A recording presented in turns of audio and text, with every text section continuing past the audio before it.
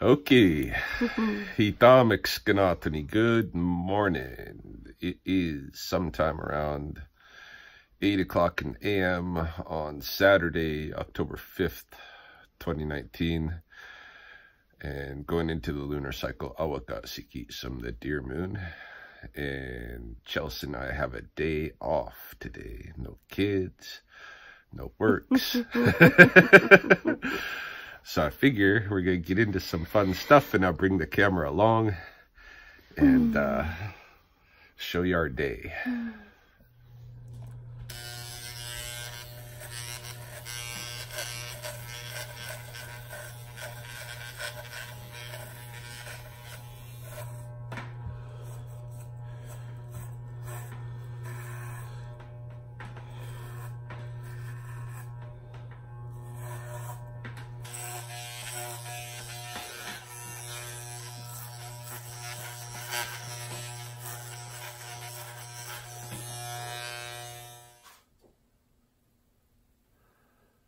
contact lenses. Yeah, never good at putting them in. See, I've grown out my belly a little bit so I can make the fang curve.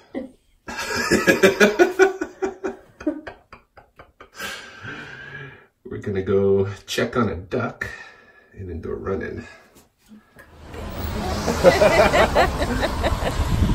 All right, so we're gonna go inside and check on Daisy Duck. She's in the washroom of my classroom.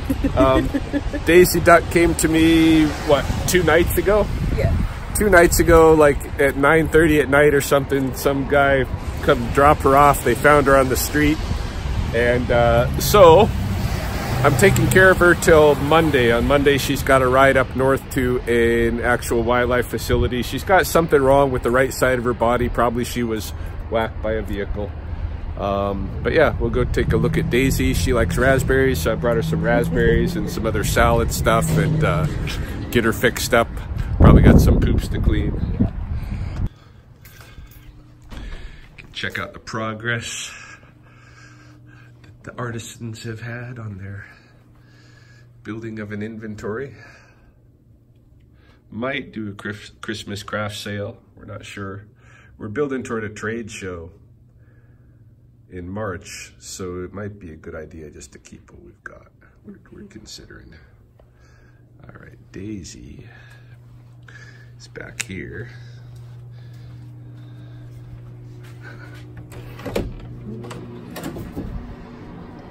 Hey, girl. Hey, girl. Oh, yeah, you made some mess. It's all right. I'm gonna clean it up, and then I'm gonna give you some raspberries. Hey, Daisy. So, it's pretty much cleaned up in here. I mean, your box is pretty gross, but we're gonna change that out next time. Next stop. But you've got food. Look at this. Got some pineapple jerk.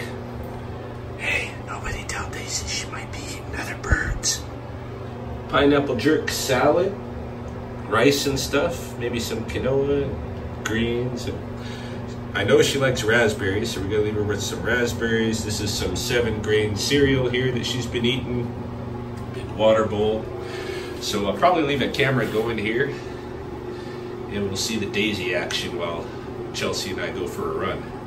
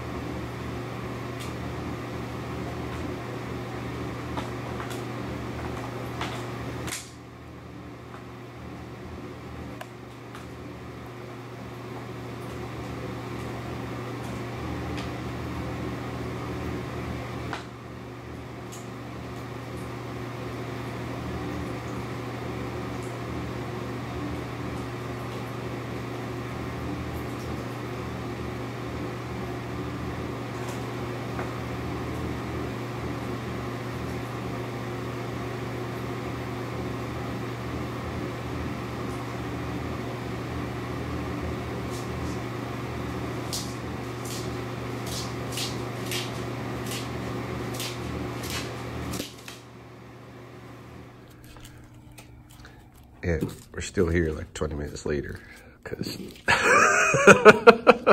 somebody started looking in the bead boxes and now they have to be organized. No.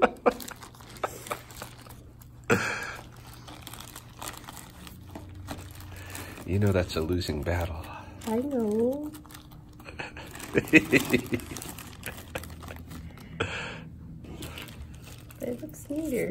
Does. Somebody will have a nice surprise Monday morning.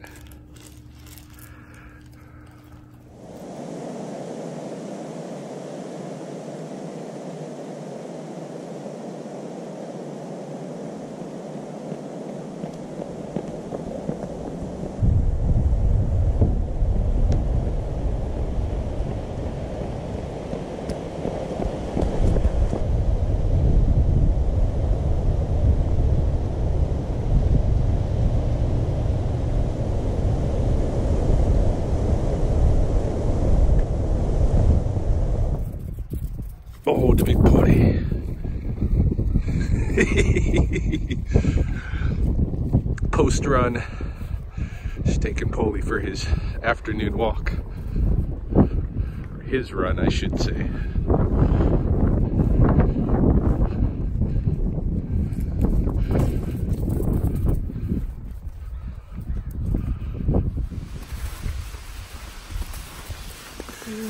Down at the Wilderness Park for the afternoon. Just about coming into the uh, rapids here.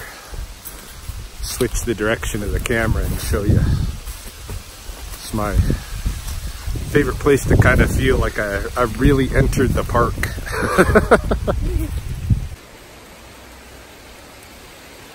Just looking at some of the snow damage on the side of the trail here, the, the trees that have, you know, young trees, supple, pretty uh, elastic trees that have been just cracked in half because of the, the snowstorm here.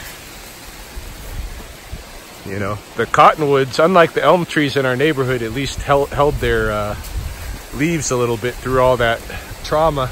They're gonna lose them like, you know, in this week though. Here we come. The rapids. Doesn't look like anybody's here.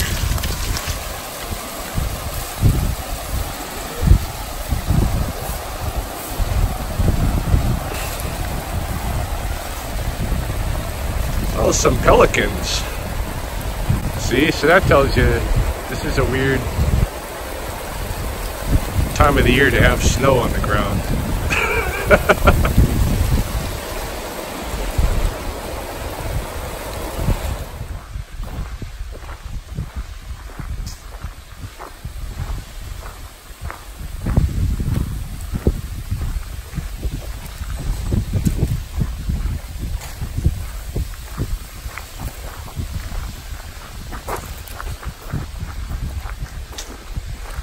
Even the mature trees, a lot of them gave out pretty big trunks and branches to the weight, you know, the weight of the snow.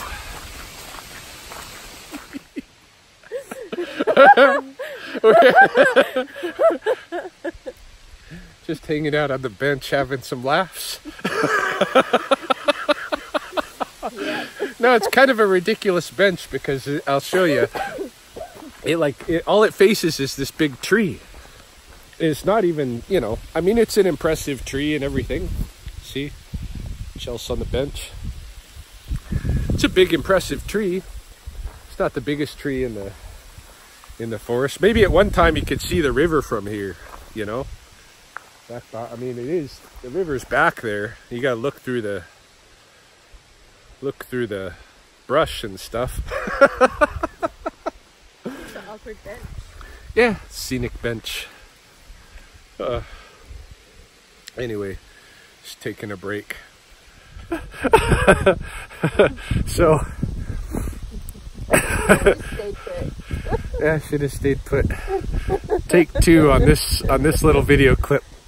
Um, it's just commenting how like I should be showing you walk, but I'm showing you a lot of bench.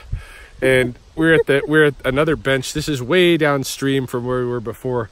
Uh, kind of a better view in that there's you know not tree and brush in the way.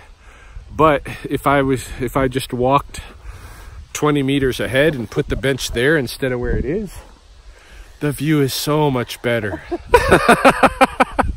in clip one, I actually walked there to do that, but 20 meters is a long time to, to walk people over there and show them, you know, the river. I'll, show, I'll, I'll show it to you in like one second. Here I am in the place where the bench could have been. Maybe in the distant past it was, but now it's way back there. Oh, we definitely got to turn this around. A little bit. So we cannot have a video about benches. well, we could, but we're not even showing the benches really. Talking Sitting. about them, sitting on them. All right, this is this has become a video about benches, I guess.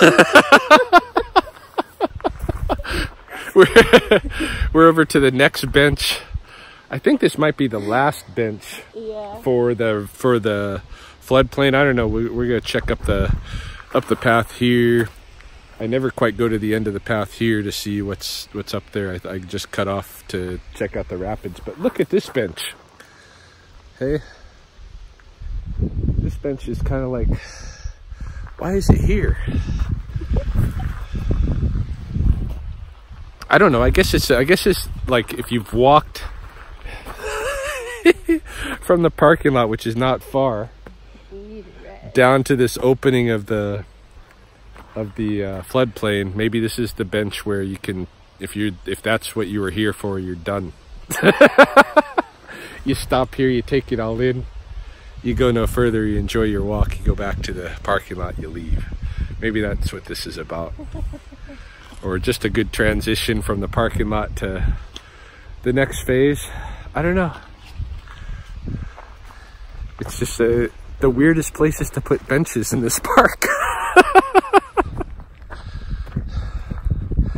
just hiking up that trail uh, that I said we'd explore. Seems to go up the next adjacent coulee, leading maybe to an old mine site from the signage below. Definitely has been dug out up here. So, all new territory for me. Be cool to see.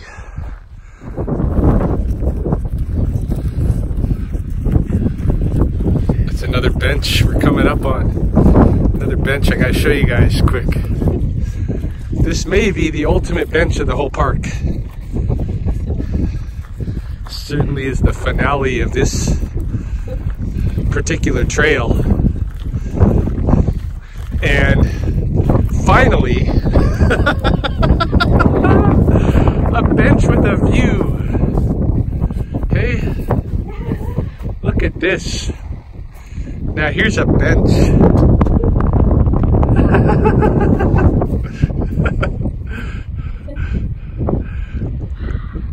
this is a real, this is a super bench. This is a real bench.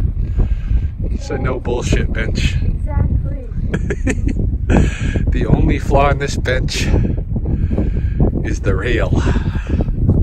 Why is this rail here?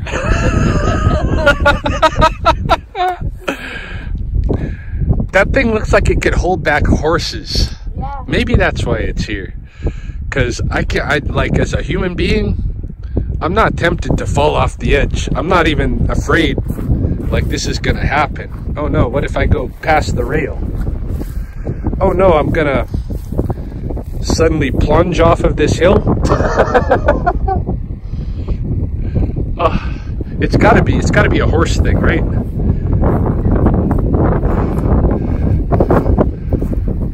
So maybe it's not a design flaw.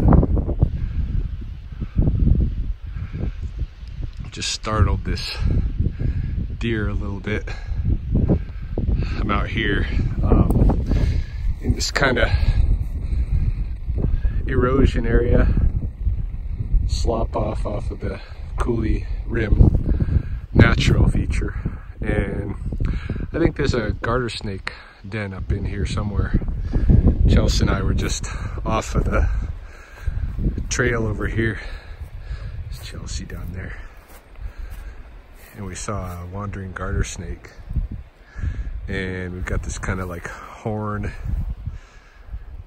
in the land. The kind of thing that develops from this certain um, kind of slide off the coulee, I think. And in my experience, these are the areas where you might find pockets of snakes, garter snakes, other snakes, but doesn't always follow those rules. Thought I'd come up here and check anyway. It's somewhere up here. That snake's on the move. Last few snakes that didn't make it to the dens before the big snowstorm are probably on their way today, this weekend anyway.